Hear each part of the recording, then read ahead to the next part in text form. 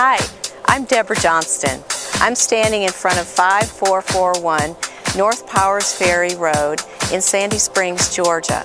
This beautiful estate is situated on over two acres. It's 20,000 square feet and it features a beautiful pool, tennis court, and spa-like area near the gym.